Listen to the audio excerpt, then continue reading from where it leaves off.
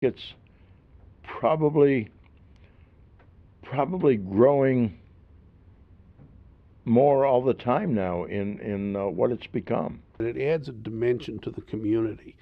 It it attracts bright people, thoughtful people, intelligent people, experienced people who have ideas to share. It's made a big difference. I don't suppose we'll ever be able to put a dollar value on that. Not only in Midcoast Maine, not only in the state of Maine, not only in our great country, but known internationally. But it's still an integral part of the city and the fabric of it. So it's grown immensely with a lot of public participation. It draws in people every summer, come especially to see it.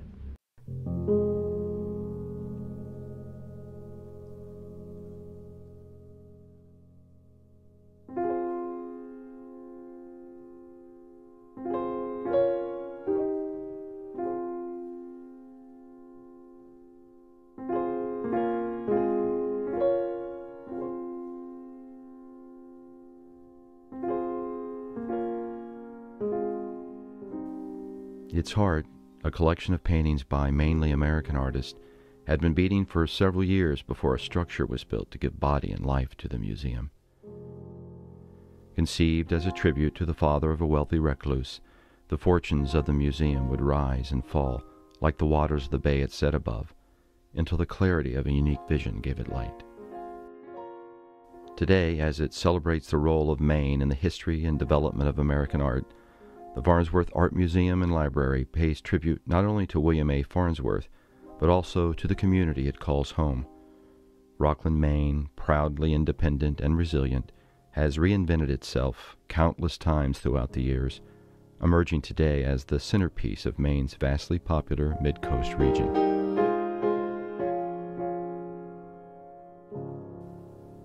This relatively small museum, through its ever-expanding collection, inventive education department, and community dedication, has earned a national and international reputation seemingly unheard of in an institution its size.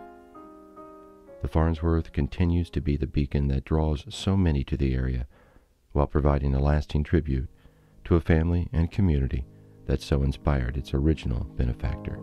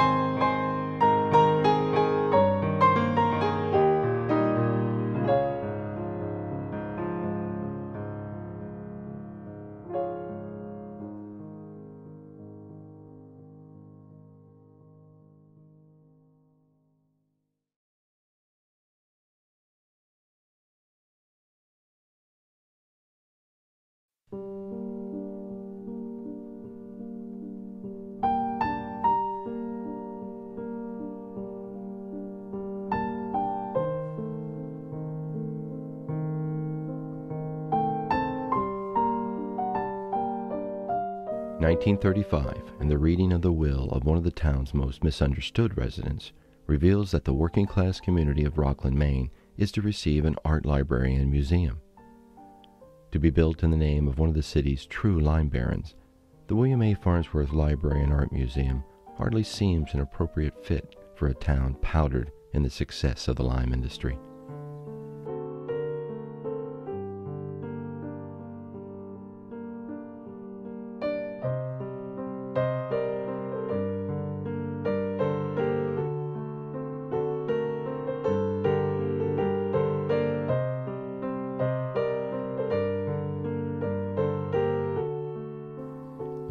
Abuzz at the news that Lucy Farnsworth, the last of the seven Farnsworth children, has in fact left the bulk of her estate to a town that mainly knew her from afar as she moved through its streets garbed in a long black dress and veil.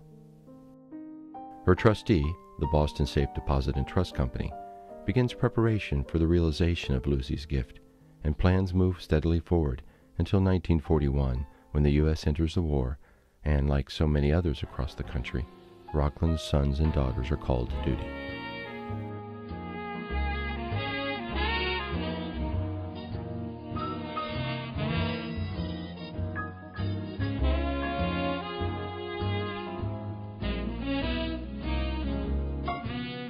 The development of the town's new institution is put on hold, and over the next five years, the shortages and urgencies of a Second World War pushed the thought of the museum to the back of most residents' minds and the back pages of local newspapers.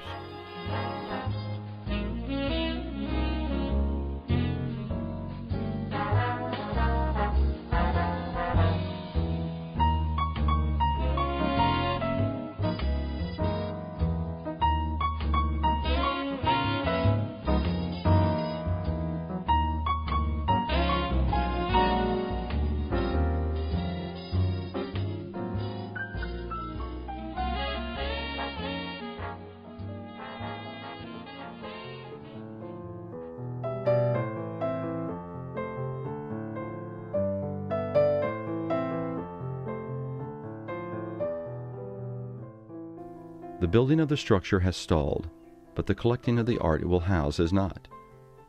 The task of creating and operating the museum is assigned by Lucy's trustee to Harvard grad Robert Peabody Bellows, and during the early 40s, Bellows begins purchasing the museum's initial collection. These early acquisitions focus on works by New England artists, including those living and working in Maine.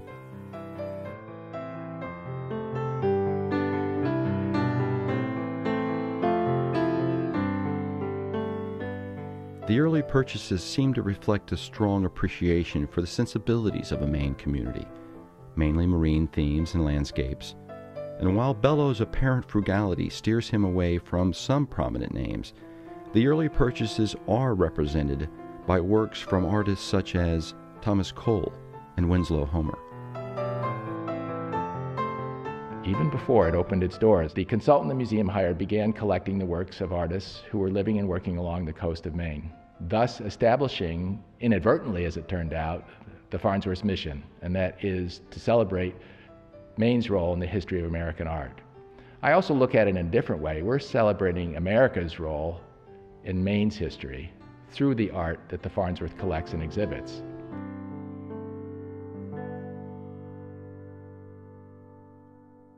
Lucy's vision is clearly defined in her will. Her estate is to be used to create a library for the use of the public, to preserve the family home and its contents for public viewing, and that a building she owns on Main Street be used as an art gallery. From the beginning, it is clear to Bellows that the building Lucy has stipulated as the gallery space is not up to the task.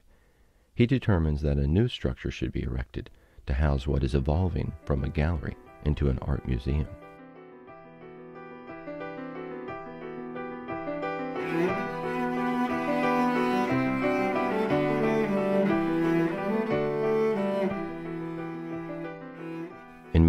1943, a row of 19th century wooden buildings on Main, owned by the estate, burn, and Bellows decides that by constructing a new commercial building on this space, one that will sit adjacent to the new museum building, the resulting rental income will serve as a financial ballast for the future operations of the new Farnsworth Museum.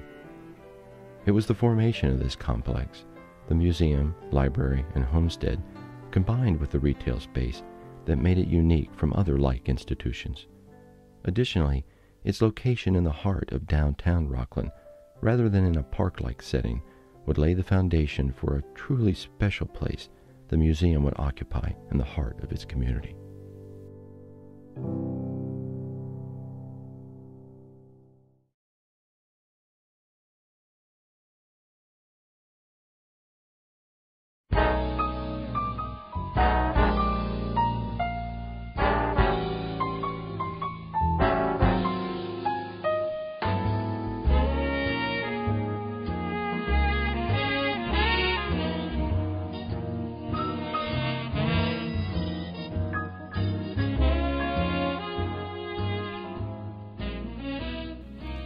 It's 1948, and the troops have been home from Europe for nearly three years.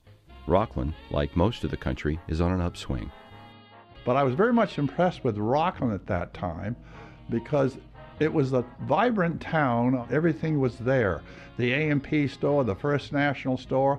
There were a lot of local markets like Jordan and Grant. There were shoe stores, clothing stores. There were two movie houses.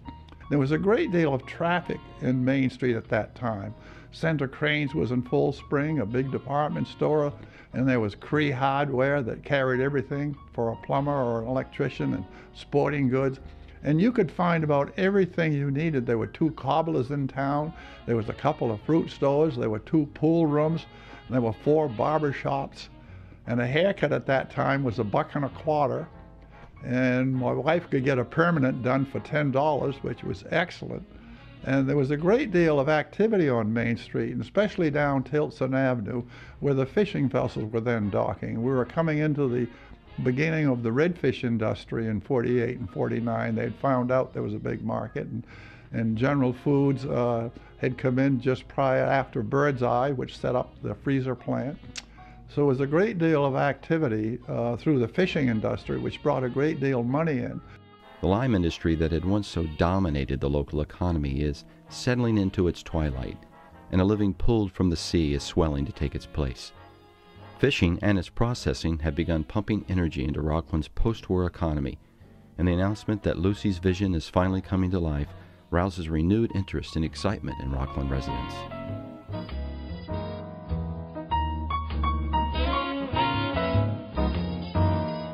But it, it, was a tremendous change, and into the middle of this, all of a sudden was plopped this marvelous, modern, well constructed building called the Farnsworth Museum.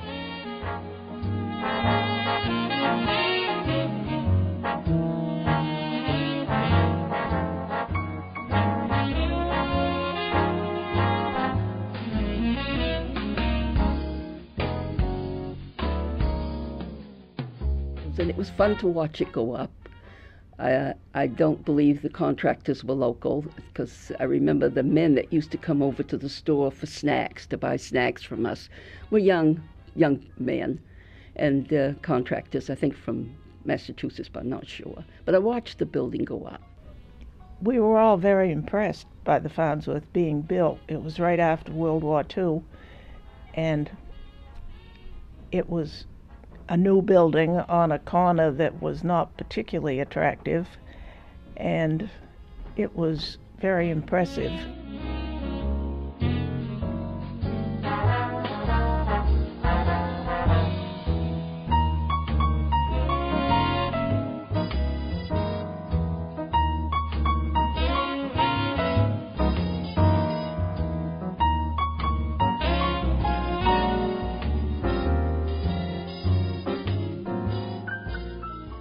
Was very nice looking and you know it was classy.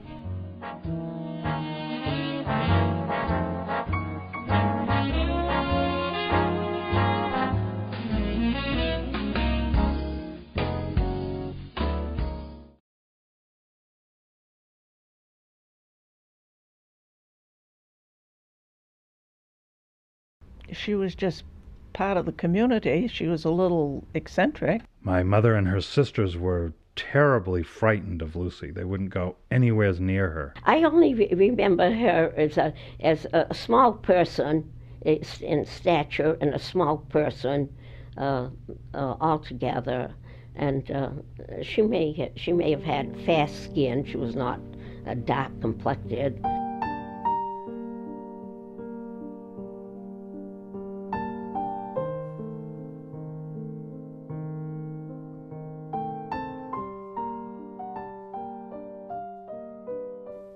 She was by all measure reclusive, never married, devoted to her father, and by most accounts an astute businesswoman.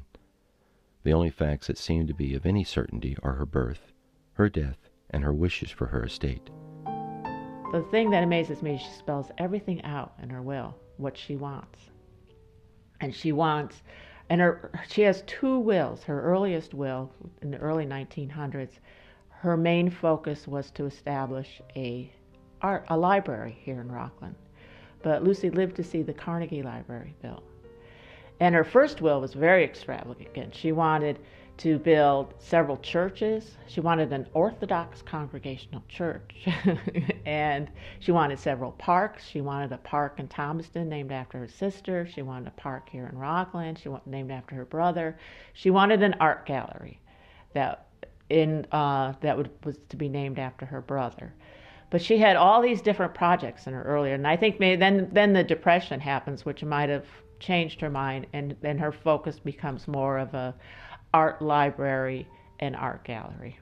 So, um, and and this house, she wanted the Farnsworth homestead to be preserved as a house of its time. There are no confirmed images of Lucy. For years it was believed that a painting of a young girl holding hands with her brother was Lucy. However, discovery of additional family material later confirmed that the girl in the painting was in fact Lucy's sister, Fanny. Today, only one photo remains unidentified. Found with other family photos but unmarked, resemblance suggested as a Farnsworth, but no conclusive evidence exists. in the family photos, you know, a lot of them are identified, but there is one ambrotype that was a photograph of a woman, young woman, and it there's a definite family resemblance to the other sisters and to the mother in the family. And the timing is right for ambrotypes and the age of the woman that it could be Lucy.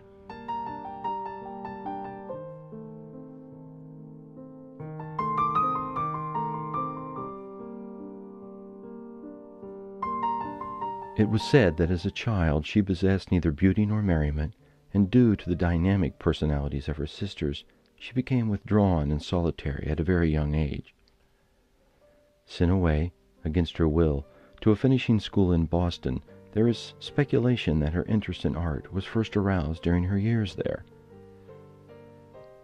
But growing up in a household with a piano, which she played, and numerous prints and paintings adorning the walls, it is much more likely that an appreciation for the arts had been instilled at a much younger age. One thing was certain. Upon her return to Rockland, it became clear that she preferred the affairs of business to those of the heart, and thus she remained unattached.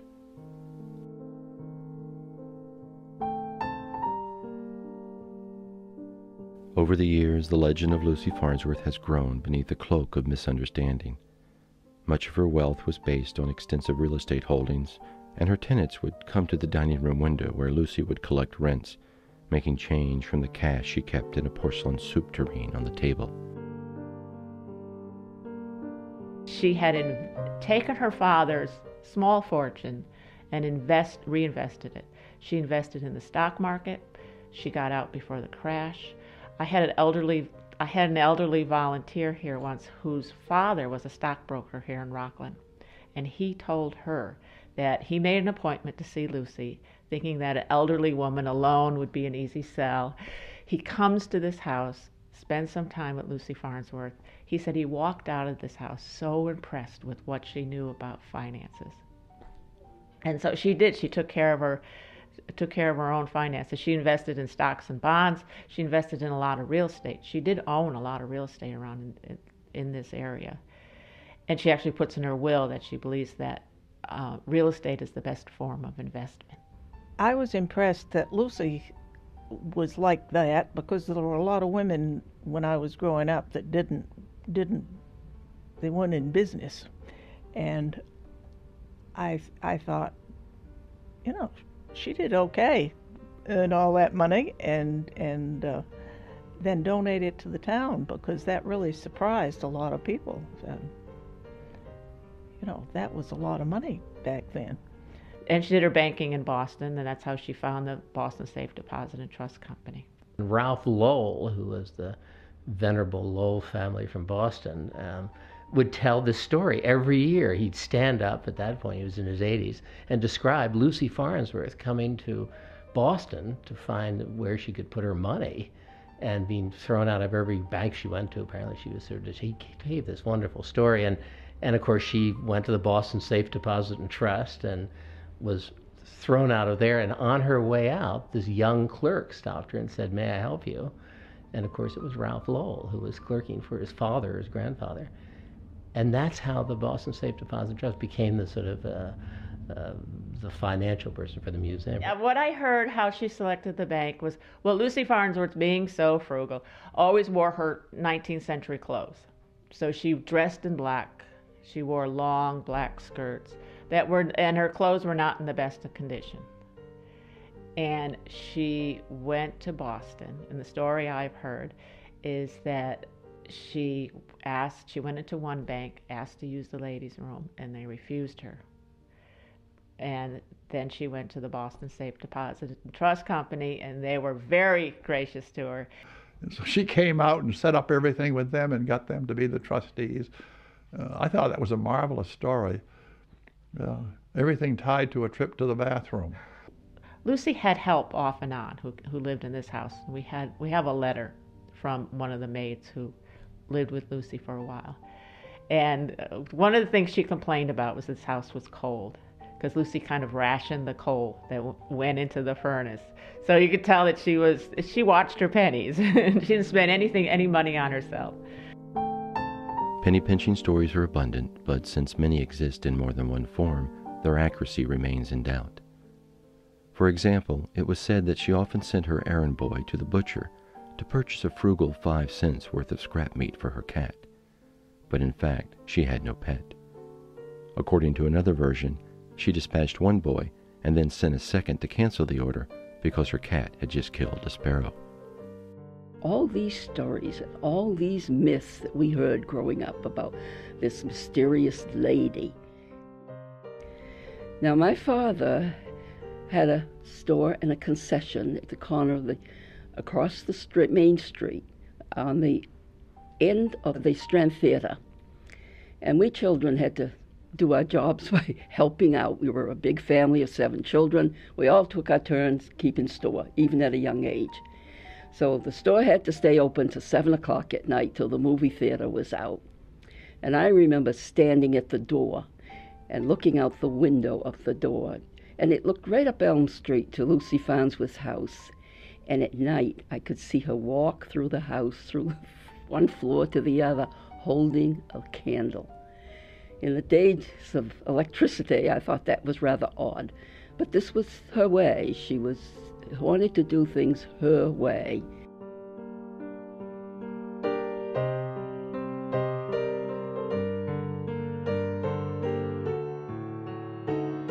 Uh, I just remember shortly an episode with my mother. And my mother, in her early marriage, lived in the house just in back of Lucy Farnsworth's house. And my mother had done her wash, and she had done it by hand for all her small children. And she went out to string a clothesline to hang her wash. So she picked the nearest tree and hung a clothesline. When she came home, the clothesline was down. Lucy Farnsworth had come out from her house and cut the rope to the clothesline. I'm sure my mother never knew who the tree belonged to when she hung the clothesline. And I'm sure Lucy Farnsworth was too much of a recluse to tell my mother not to. But this was a story that my mother related to me. For the most part, the people of Rockland maintained an uneasy connection to this little woman dressed in well worn clothing from a bygone era. At one especially lean time in the city's history, it was said that the town fathers drew straws to see which would approach Lucy about a much needed loan. The loser rang nervously, and when met by Lucy, explained the town's dilemma. Money was handed over with little question, repayment never called upon. Other times, however, Lucy had entered into litigation against the city and often threatened to move the headquarters of her father's water company to Camden to avoid Rockland's higher tax rate.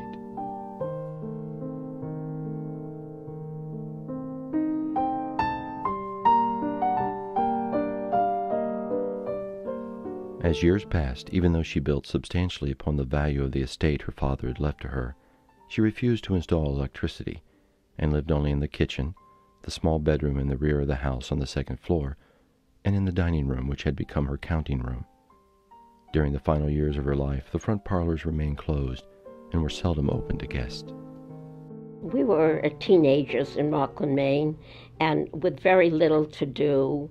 And uh, Lucy Farnsworth, uh, uh, well, I don't know why we looked at her as as a character. She wasn't really not a character. She was a small woman, and uh, she wore long clothes all of the time. And, and of course, the fact that she lived in a large home and what we looked at as a nice home. We decided, um, one of my friends decided um, that we would pay her a visit. I can't tell you whether the visit was out of curiosity or whether at that age we were just kind and thought perhaps she would like to have uh, some guests. So we did knock at her door, and we told her that um, uh, we we wanted to come to visit her, and she did invite us in very cordially. She invited us in, but uh, she locked the door behind us, and and uh, because of that, uh, it frightened us. Frank, frankly, we frightened us. In those days, no one locked the door, even even uh, even to let you in or to uh, for no reason at all. So uh, and we did uh, she we did sit down, and I I I remember something that stood out in my mind was she had a, a very large. A baby grand piano, a beautiful piano, and I'm not so sure, but I think there was a photo on that piano and she spoke only about her sister, and I'm terribly sorry I can't recall the conversation.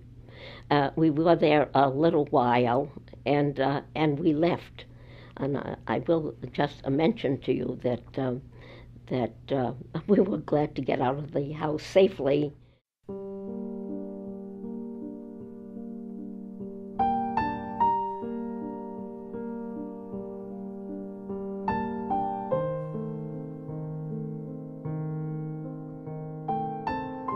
It's on Pleasant Street. And Lucy, well, all her family members are dead. And they're all buried in different cemeteries around the area. So Lucy decides to build a family cemetery here in town. And and what I recently found out is if you, when you go look at that cemetery, is that it was 13 acres when she planned it. So it was family land, what she does, though, is she brings her parents back, all her younger siblings who had died at an early age. She brings her sister back, who's buried with her husband in Thomaston, but leaves the brother in law behind. She brings her brother back, who's buried with his wife in Belfast, but leaves her sister in law behind. So, in this family cemetery, Lucy brings her family members back together.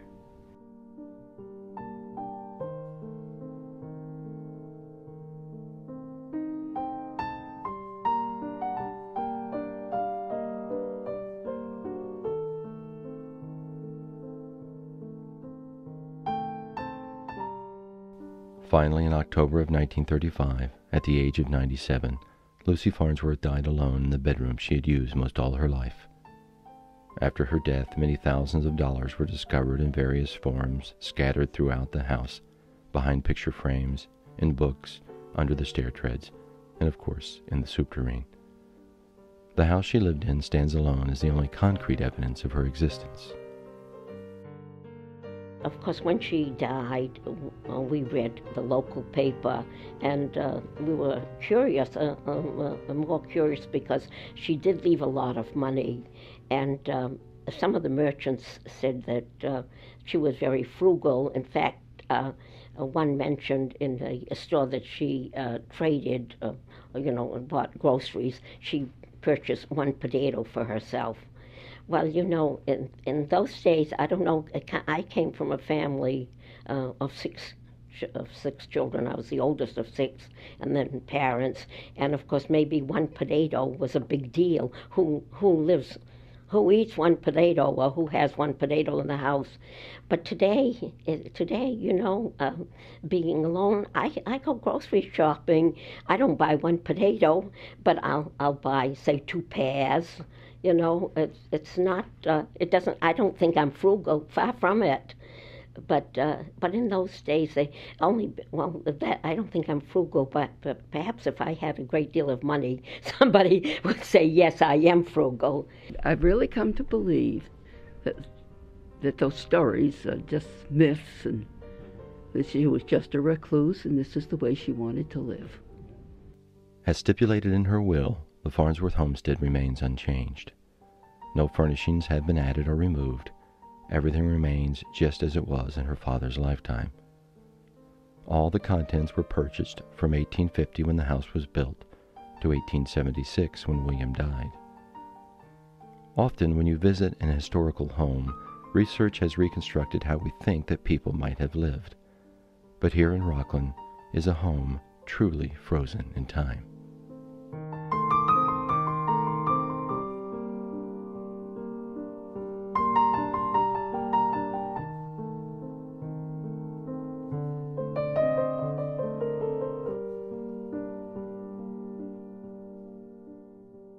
This far reaching legacy from a most unlikely source continues to enrich the place she called home. And when we move through the rooms of the homestead, we can only imagine what Lucy might have thought about her life and what she was leaving to the people of her hometown. Today, her generosity shines brightly at the center of Rockland, and as the headline in the August 17, 1948 edition of the Courier Gazette reads, Rockland is justly proud.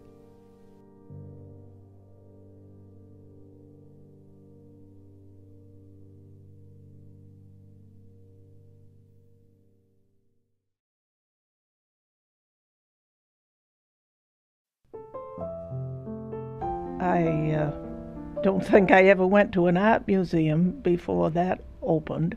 My father would take me to the openings. Um, it's what gave me an appreciation for art. It started at the Farnsworth. Well, I, I remember when I was oh, probably all of five or six years old having art lessons at the museum. Uh, Wendell Hadlock was the curator then, and of course he was a friend of the family. That didn't improve my art talent any, which is why I'm not any kind of an artist. But even then, the museum was a community center. Miss Lucy's uh, will stated that she particularly wanted this building to be in use by the people of the local community. She wanted it to be open to them.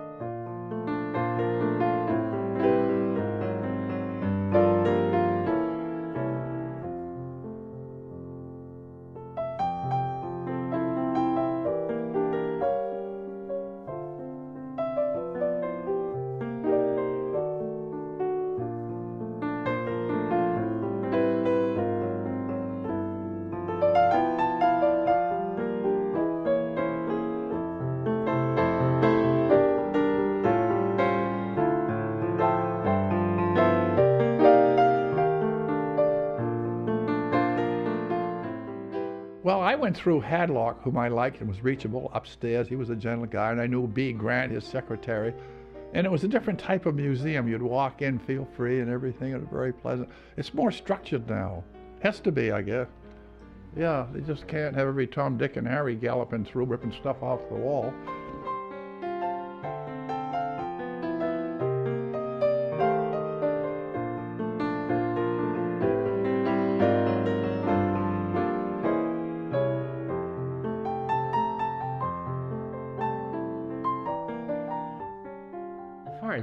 Been a, um, you know, very important to my to my family. I mean, certainly my father had his earliest shows here, and uh, and I, in fact, had my first museum show here at Farnsworth when I was early 20s. So it's been a uh, integral part of of our of my family.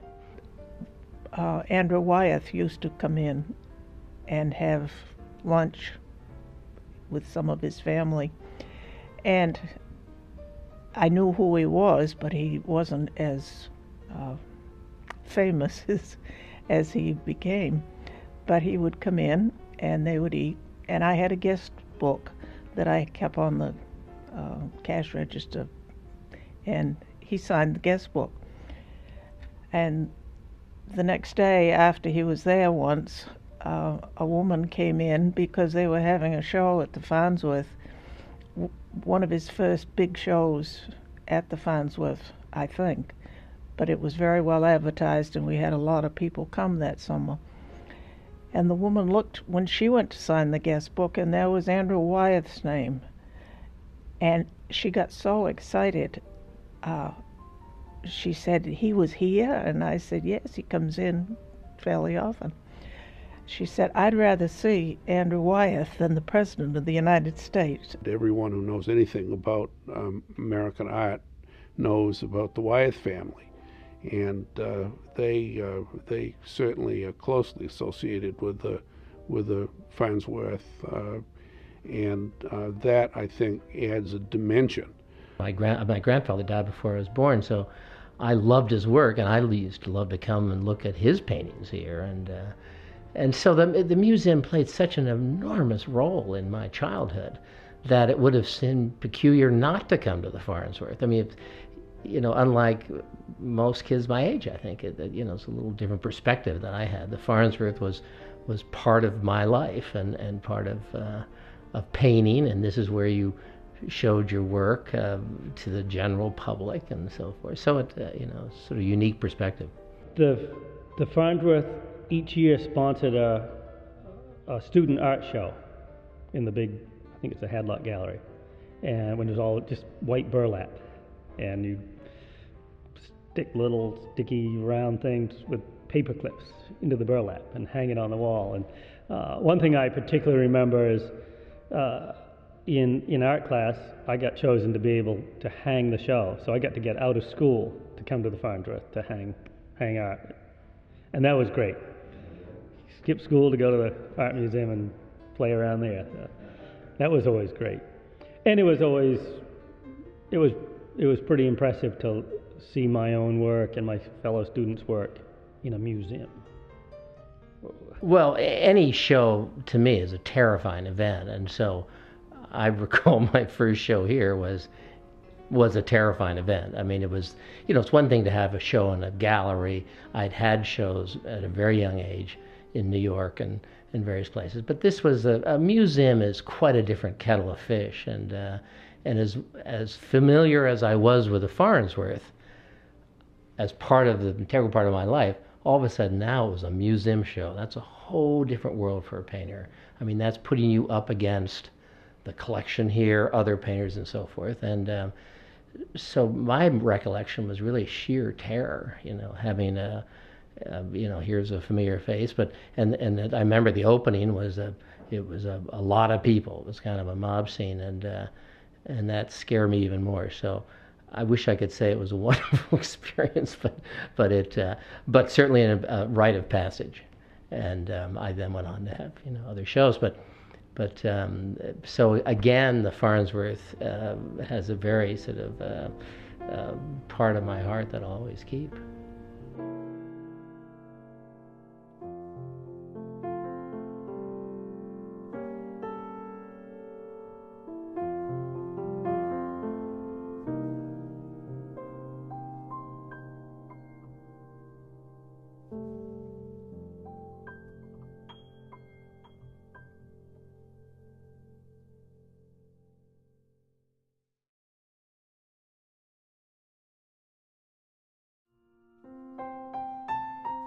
For some 20 years, Rockland had enjoyed an economic summer delivered primarily through the strength of the fishing industry.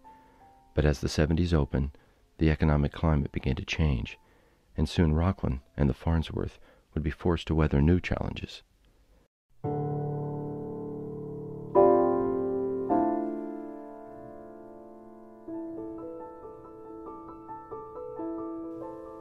As an energy crunch that was choking the country swept into Rockland like a cold winter wind, the fishing industry began rapidly changing.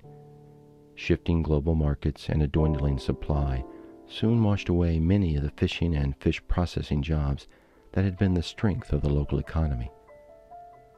The growth of suburban shopping centers added yet one more hardship that signaled a shift, and soon downtown Rockland was but a shadow of its former self. Well, it was. It was a tough time. It was a transitional time for Rockland. Of course, for generations, Rockland had been a seafaring, uh, shipping uh, port, uh, and uh, of course was one of the preeminent uh, fishing uh, ports in the Northeast. Um, and at that point in time, the whole profile of the sardine, canning, and fish processing industry was changing. And many of the old uh, factories and companies were moving, going out of business, uh, in, in many ways succumbing to the uh, foreign fishing pressure and the international trends that were taking place economically throughout the world. So that was a period of time in the 70s in particular where the old was was was leaving and deteriorating and no one could imagine what the new was going to be. I remember going up and down Main Street and seeing a lot of stores that were kind of shabby and uh, Main Street was was nothing like it is today. Uh, and you wondered what Rockland's future was going to be. Well, we moved back to Maine in uh, 1977 and I can recall going down the main street of Rockland and seeing the number of empty stores and sort of boarded up places. And Rockland was, uh, you know, in, in fairly tightened straits then. The uh, fish packing plant was still running, but about to shut down. Uh, the Farnsworth was kind of a sleepy museum with uh, uh, with a furniture store on Main Street. Um, upstairs in that building were a bunch of officers, some lawyers, and so forth. And um, Marius Peladeau was uh, struggling mightily to keep the museum active. And uh, uh, Marius is a scholar in his own right. Uh, he, when they did have exhibitions, uh, that were of note. He he was capable of writing the catalogs. Uh, he was a, a good lecturer. Uh, Marius made a great contribution to the museum. One of the key points in the museum's history was in 1977 when then director Marius Peladeau invited Louise Nevelson to do a major exhibition of her work here. Nevelson, by that time, was a internationally renowned American artist and arguably one of the most important women artists the country had ever produced. What was different about her work, of course, was that it was purely abstract, thus departing from the long tradition of art making along the Maine coast and the kinds of work that were being collected and shown here at the Farnsworth.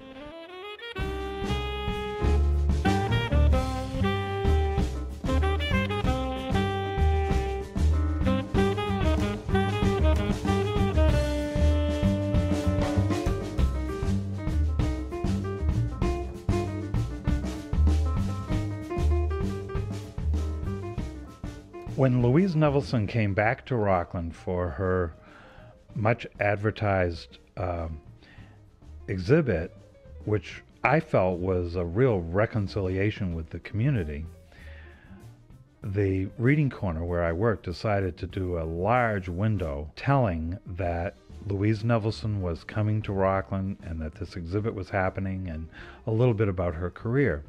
Putting this window in the uh, night before the opening of the exhibit, it took a long time until probably four o'clock in the morning. I was exhausted, got the window all set up, went home, went to bed. At nine o'clock, the phone rang, and it was Louise Nevelson.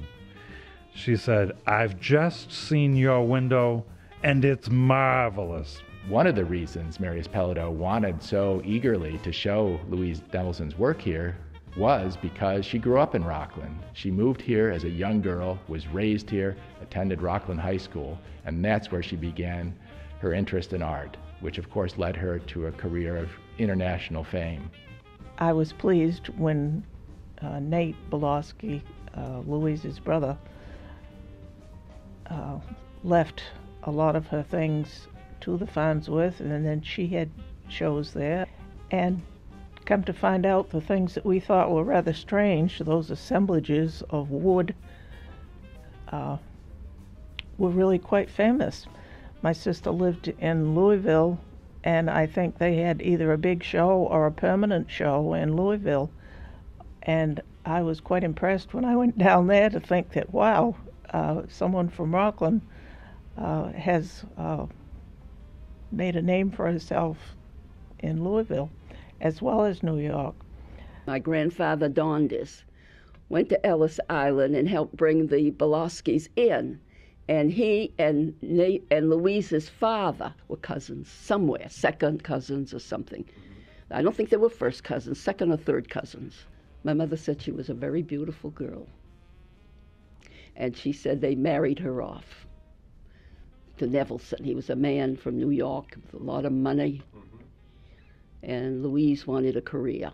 My mother was friendly with her mother, and that's how I happened to know Louise. And of course, I knew, I knew uh, Nate Bolofsky. You know, uh, don't forget I was a lot younger, but I knew of of Louise and uh, Nate Bolofsky. Nate Bolofsky, and uh, I know that, uh, and they, she became very prominent. I guess in the New York society and so forth. Uh, she was amazing and reached great renown in New York City.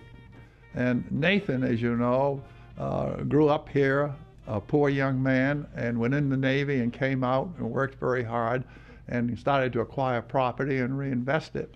And he assisted his sister very, very much. And I met her quite a few times. Nevelson was quite the woman and is very well renowned today and very highly thought of.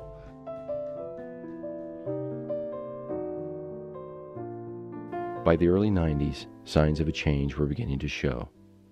The Farnsworth, too, was looking toward a rebirth of its own. Several years earlier, a change in the museum's charter allowed for the formation of a truly independent board. Determined to grow beyond the limitations of Lucy's initial gift, this new group of visionaries forged a plan for both fiscal and physical expansion and began to raise the money that would be needed to grow Lucy's gift into more than just a regional museum. We had a concept of doing a fundraising uh, to help to build endowment and to help to modernize the museum by expanding within its own footprint and doubling our exhibition space. That was accomplished by actually taking over the uh, the whole office building, and on the first floor uh, having a shop and uh, a gallery.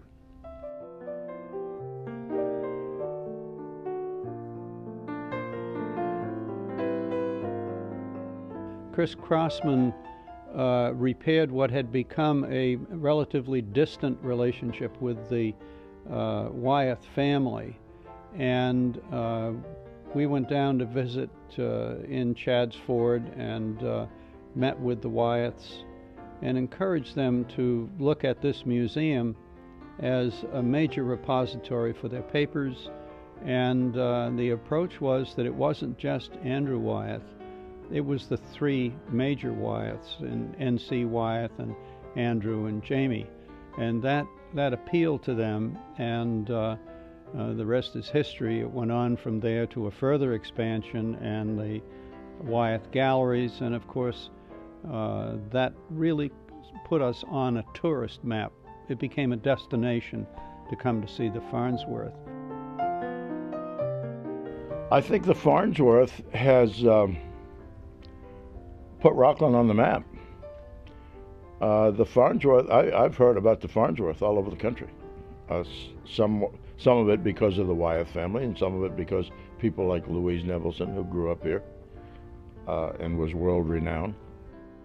The thing that I love about the Farnsworth is its diversity. Um, you know, it is not a Wyeth museum. I mean, they, you know, they'll have an Andrew Wyeth in one room, and and they'll have a complete opposite, like Ken Noland with color field paintings and targets in the other room. That's the fascinating thing about it. And and so it's it's grown from just sort of being a regional museum to really a national uh, presence. The Farnsworth has been very careful. I mean, the, the work that they've collected and put together and present, I think, is a real cross section of the of, of this um, amazing pool that Maine has two painters and writers and so forth. Um, so it's, it's a colliding of worlds, which makes it even more unique. Uh, you know, it doesn't pander the museum. It, uh, it's, it's, it's really, it's, it's its own institution. Just as in a Maine spring, life was slowly emerging.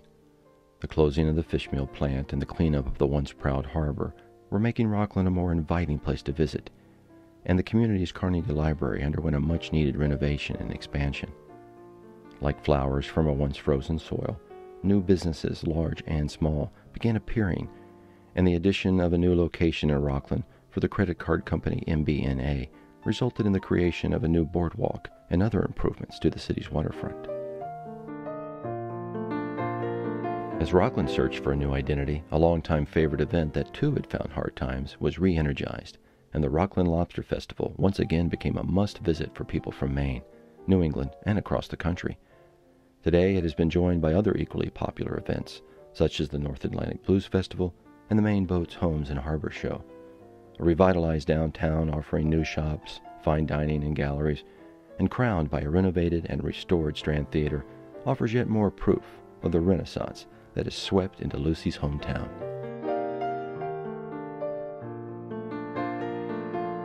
So they know Rockland, Maine because of the Farnsworth.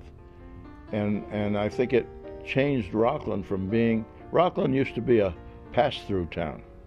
People on their way to Camden or people on their way to Bar Harbor. Well, now Rockland's a destination town.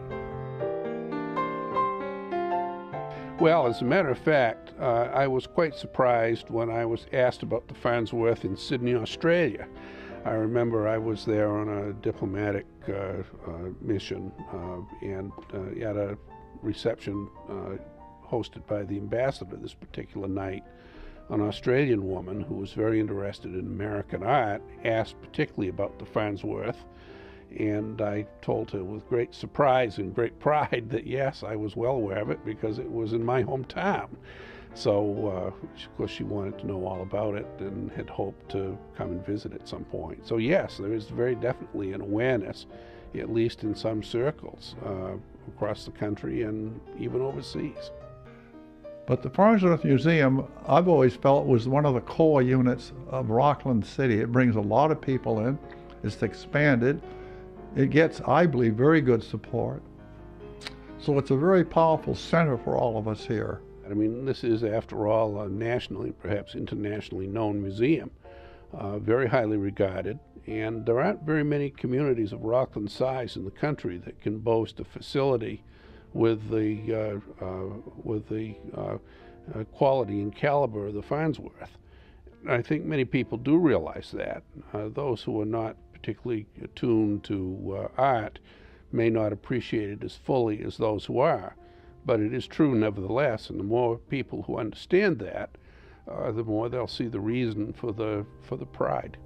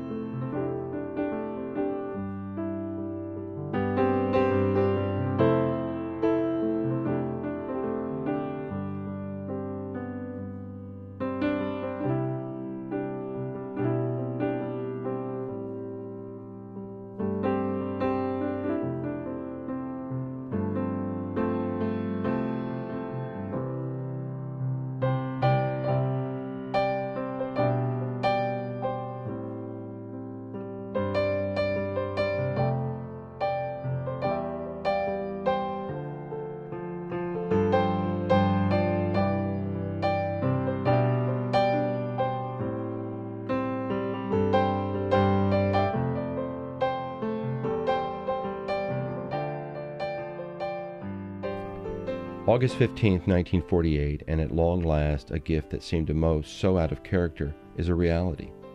Ralph Lowell, president of the Boston Safe Deposit and Trust Company, along with the museum's first official director, James M. Brown III, welcomed the over 1,300 attendees. Uh, Jim Brown was the first director, and we met him and his wife Alice. He was a very gentle man. He had been a prisoner of war of the Germans. He was the sole survivor with a buddy off of a yacht called the Cythera and had been torpedoed and spent his life in the early part in the prison camp in Germany. And and came out and uh, finished his Harvard education and got this appointment. And uh, it was very impressive to us to meet him. He was a very kind gentleman and showed us a lot. In ceremonies held on the homestead lawn, Brown states that the institution will become more and more a civic center. The extent to which it will go on in service depends solely upon the people's acceptance of the facilities offered. He added, although privately endowed, it is in every sense a public institution. Principal speaker Arthur A. Hauck of the University of Maine tells the crowd that the influence of a cultural establishment of this nature reaches far beyond the community in which it is located. No one except possibly Lucy Farnsworth herself would have dared dream just how fitting these words were. It was just her way, I thought, that doing things. She wanted to be left alone, and this is the way she lived. And I thought then, when they built the museum, I was really in shock to think that anybody would do this for the town, because we were a little town, and we didn't really have the benefit of the arts and music and theater that you have today, even on a local basis. We're so fortunate, and the Farnsworth brings out the best in all of us because we're very proud of the Farnsworth. We're very proud of Lucy's legacy, vision. A center for city and, and local activity. Certainly, it's something to be extremely proud of. It's been a fabric. Farnsworth is a fabric ingredient, key ingredient of the greater Midcoast community. To this day, then and up to now, no Rockland resident has to pay a fee to go to that museum. And I have enjoyed many years of going there and, and able to enjoy the, the art and exhibits, and I learned an appreciation of art that I don't think I ever would have been able to be exposed to.